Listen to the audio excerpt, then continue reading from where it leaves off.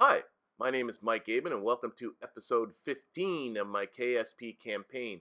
You can see here in the building queue that I'm only a couple of days away from the completion of the building of the Kerstock 5 and the mission for the Kerstock 5 is going to be to rescue Ribfel who uh, is stuck in low Kerbin orbit and we saw him, we actually gave him a bit of a, a buzz by we by about 100 kilometers at the conclusion of the last episode. So we need to go up there and get him. But before that is done, we have uh, space exploration, which is completing its research. And of course, with a new tech node comes some new parts. Most notably, this time it's going to be the barometer, which is a new science part. So I thought I would take out my old science buggy and stick a barometer on it so that uh, we can drive it around the KSC and collect some uh, free science data. Now, one of the things that have changed since the update is that parts that I've yet to pay to unlock do not appear in this standard menu. I have to go over to some other menus. So I go over to this one, which arranges the parts by um, by tech level. And I'm just going to go through here and unlock stuff that I think I might like. So this onion capsule, that will be uh, definitely something for the future. And I'm not really sure, this happened with the latest update, I'm not really sure if this is something Squad did or if this is due to the editor extensions uh, mod that I have on here, which is what gives me all these extra menus. And I'm not really sure if I like it or not. Like, in one way, it keeps the main menu cleaner because you don't have parts that you don't have, that you don't have any interest in. There's the barometer, we'll unlock that. Ooh, ladder parts, oh my god! anyway, um, you know, one one hand, you know, it keeps the main menu cleaner, but I, I kind of got in the habit of of uh, kind of unlocking parts as I need them. So now what I need to do is go through here every once in a while and uh, make sure I'm not missing anything that I feel like, you know, I could use.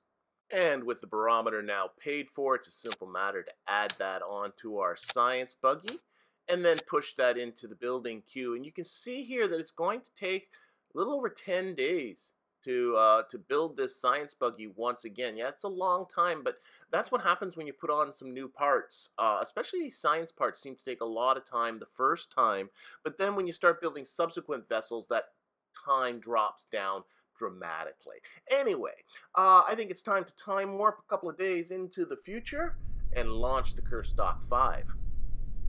And this is going to be our first rendezvous mission, and what I was going to do is going to use Kerbal Engineer, and I was going to show you how to use Kerbal Engineer to do rendezvous, except I didn't put the Kerbal Engineer chip on this vessel, so I don't have any Kerbal Engineer stuff.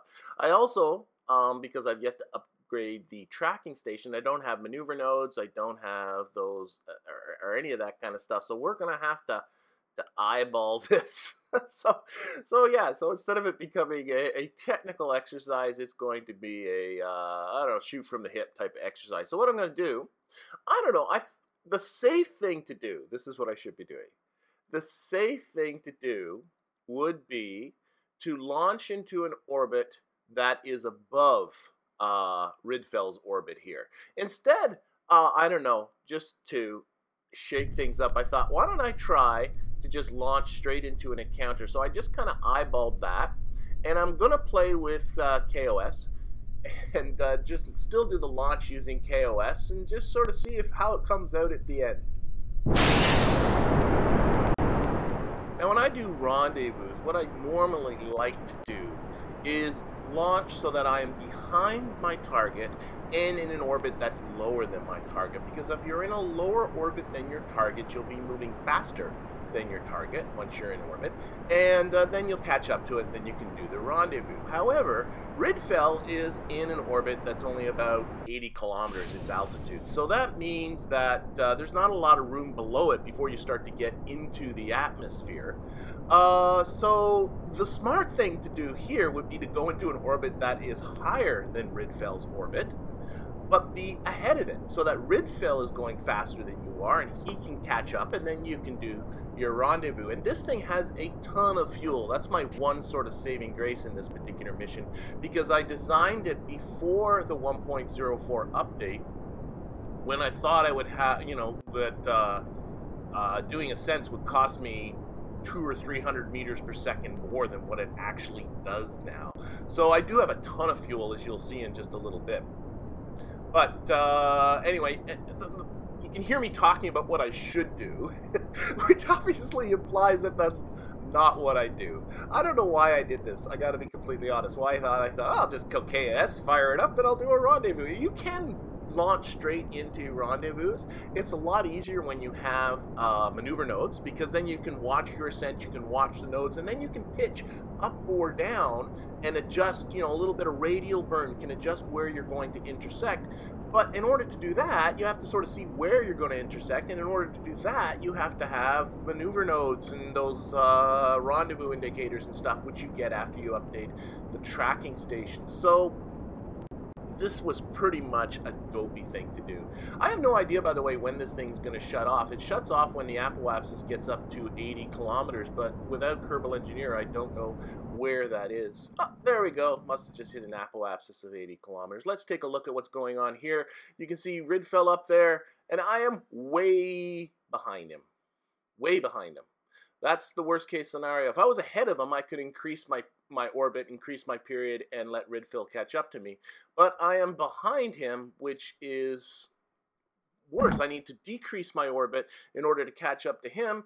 But again, I'm only going up to an apoapsis about 80 kilometers, so I don't have a lot of room below me. Oh well, we'll worry about that when the time comes.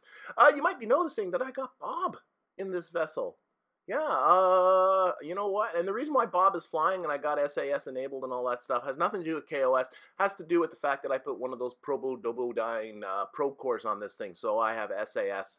Uh, and this allows me to get Bob up there. Bob has yet to get his feet off the ground, so I need to start getting some experience into some of my non-pilot Kerbals.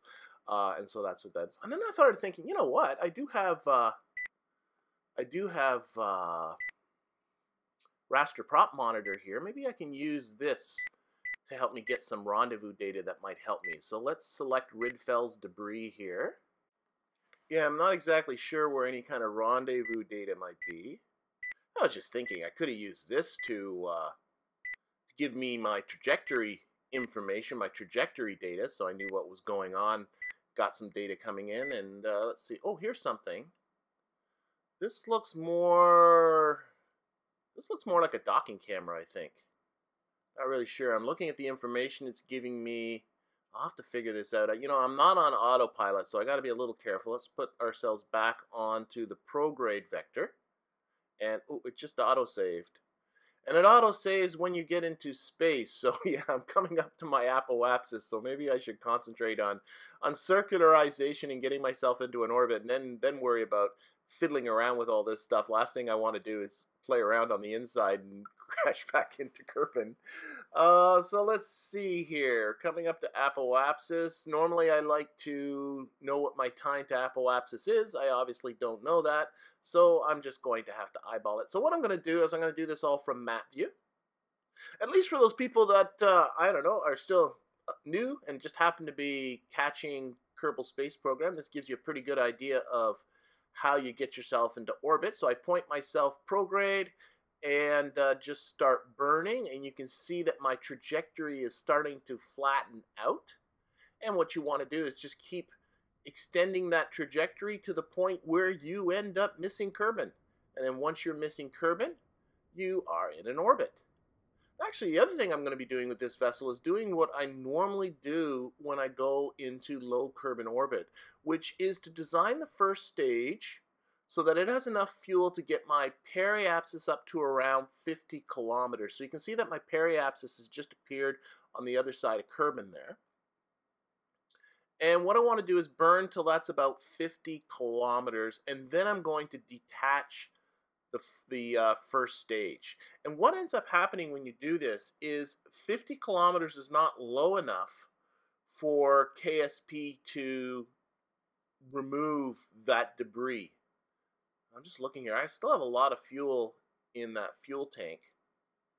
Why don't we transfer some of it over? Uh, see, we've got liquid fuel oxidizer. We're going to transfer, fill up that top tank. Again, I have more fuel than I anticipated because uh, my ascent is cheaper than I anticipated since the update. So there, we'll we'll uh, set up the parachutes and then we will uh, disarm this thing. Or disarm this thing. We will detach this thing. Anyway, as I was, as I was saying, that uh, first stage now is in an orbit with a periapsis of around 50 kilometers, and KSP won't um, remove it at that altitude. It will assume it's it's in an orbit. But it also doesn't it's on rails. It's not going to apply any kind of aerodynamics or physics to it. So, it's going to continue in its orbit indefinitely what I can do then later is when I when I have some time is I can reselect this de- debris and ride it and as I ride it now through the atmosphere now the aerodynamics take hold and I can ride it down to the surface and recover it. It's a great way to recover these first stages um, without relying on external mods or any of that kind of stuff. It works really really well. Uh, and I, I tend to do that with pretty much all my vessels from here on in. I'm getting to a point now where I'm starting to get into kind of a standard design, you know, not just whatever gets me into orbit. And that's what I like to do is first stages, uh, I like to leave them in this orbit with the periapsis about 50 kilometers and then go and deorbit them later. Anyway, I'm just sort of uh, reducing my orbit as much as I can. Remember, I am way behind Ribfel. It's kind of funny because I was actually closer to Ribfel last episode uh, with the Kerstock 4, and Valentina got within 100 kilometers of Ribfel without even realizing that she was doing it. And here was Bob, uh, and he's intentionally trying to meet up with Ribfel, and he's like way off. Oh well. So anyway, we're going to go around to the other side to our periapsis, and then we're going to reduce our apoapsis uh, also down to just above 70 kilometers, so it's just above the atmosphere. And now I got my orbit as low as I can get it, and then it's just simply a matter of riding it around until uh, until uh, uh I've caught up to uh, Ribfel. Anyway, with that done, I thought I would play around a little bit more with uh, Raster Prop Monitor, and I ended up finding this screen here And the top half of the screen is all kinds of data about my vessel, but the bottom half is about Ribfel. And uh, unfortunately, I don't think any of this is. Got a relative inclination. That's fine. And then I have. That's a actually useful piece of information. I think the next two times are times to the ascending and descending nodes relative to Ribfel, which if I wanted to match inclinations, I don't really care. It's close enough to zero anyway.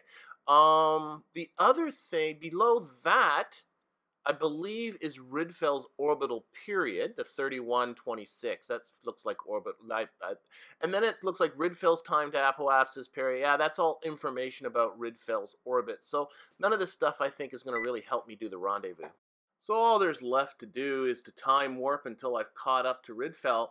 Uh, at least I have tons of life support. If you take a look over there inside, I have a little bit more than six days of life support. That's because the capsule that Bob is in is uh, designed for two people, and the stock thing from uh, TAC Life Support is to supply capsules with three Kerbal days worth of food. And so he started with six days because it was food for two people. Lucky him. And so, like, yeah, I can go around like this for a while, but I do want you to remember three days per capsule because I'm now moving into day 128 of this particular campaign.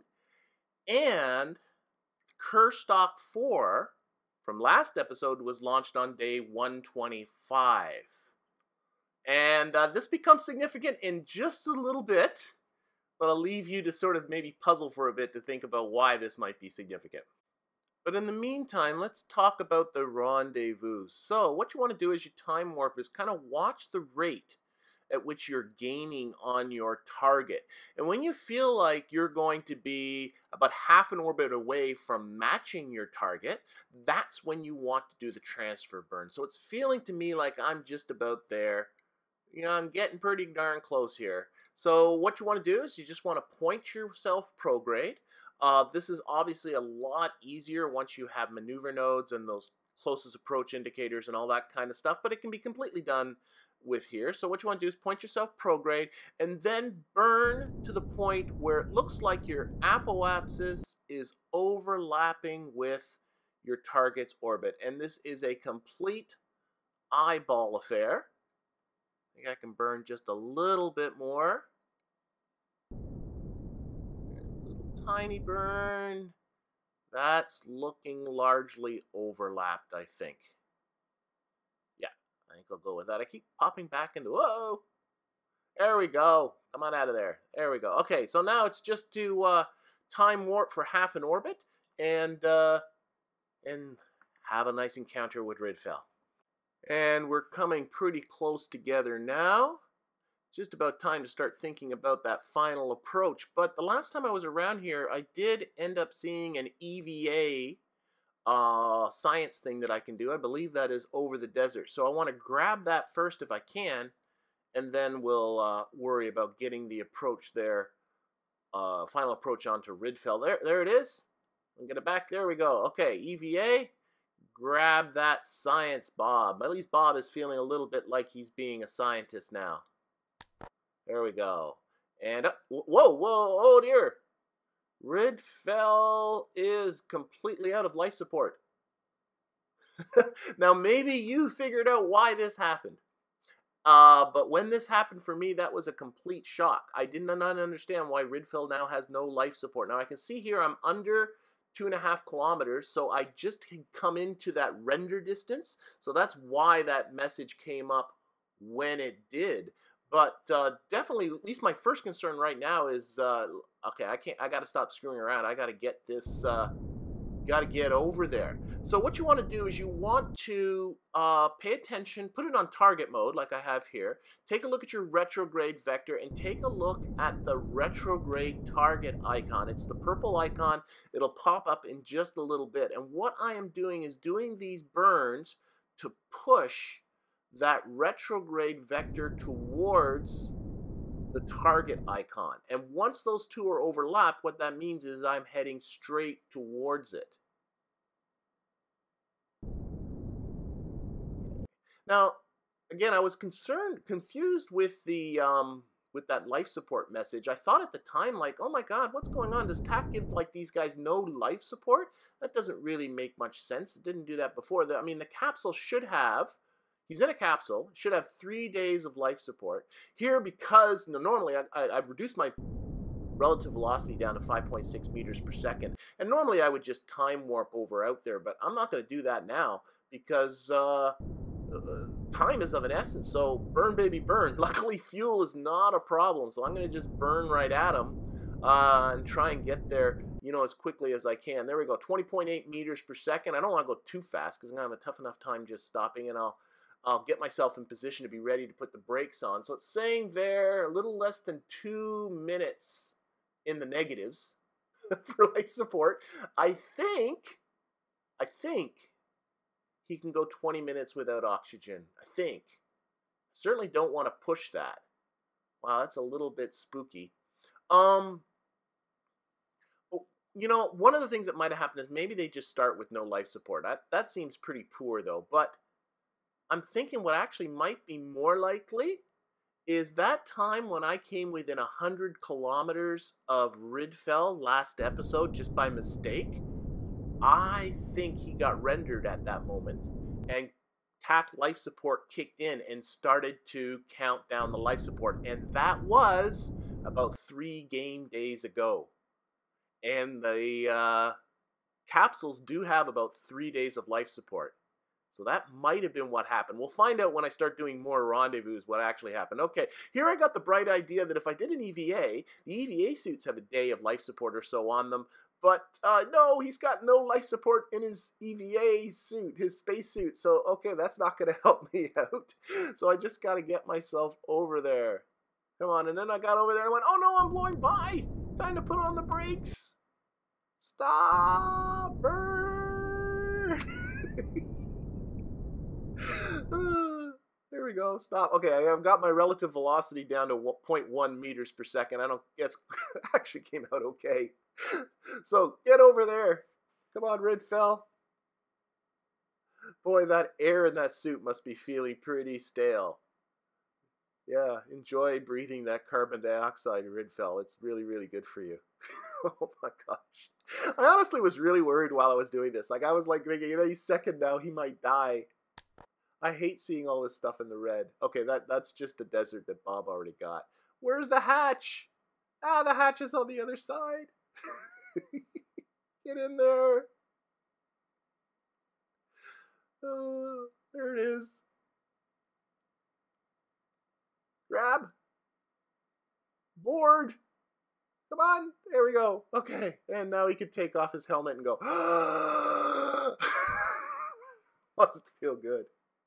That was weird. So anyway, uh, okay, they're good now. I got a little less than three days of life support left, uh, and all I got to do is get them down, so no problem whatsoever. So anyway, next time I do a rendezvous, I'll definitely be paying attention to life support, and I'll try and figure out what happened. But the more I think about it, the more I think that close encounter that I had uh, in the last episode uh, is what is what was the cause of this. And this, you know, you think about it, I'm lucky to even get out there. I, I might not have even had this vessel ready, and I might have just gotten a notification, you know, three days later without having a vessel around saying, "Oh, sorry, Ribfel's dead. Sucks to be you."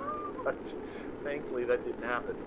You know, I'm still actively thinking about this, even while I'm doing this uh, narration, and it seems an extraordinary coincidence that uh, you know it's clearly those countdown timers uh, started at zero at the moment that ship rendered, and that would seem like an extraordinary coincidence that. Uh, when I came into the render distance, those you know, I just at that exact moment exactly ran out of life support. So I'm not quite sure I got it quite right yet. I'm wondering if maybe coming within 100 kilometers starts TAC life support its countdown, which got down to zero, but the ship wasn't rendered. And then when the ship rendered, it rendered at zero life support. I don't know. It's weird. I'm really looking forward to doing my next rendezvous anyway, and I'm really going to be paying attention to life support, see if I can figure this out. But anyway, long and the short of it, happy ending at the end. Ribfel came down. Ribfel turned out to be a pilot, so I got myself a fourth pilot, uh, and he now is at level one because he did an orbit. Lucky Ribfel, and in fact, the own and Bob's now at level one, so that's great. And the only uh, person who's flown so far, the only two people I have that are not at level one is Bill, who's not flown or done anything yet. I'll have to get Bill up pretty soon, and poor old Jeb. Jeb still level zero. I'm so sorry, Jeb. But anyway, got all these guys down, no problem. Uh, and that's going to have to end this episode. Thank you for watching, and I hope to see you next time.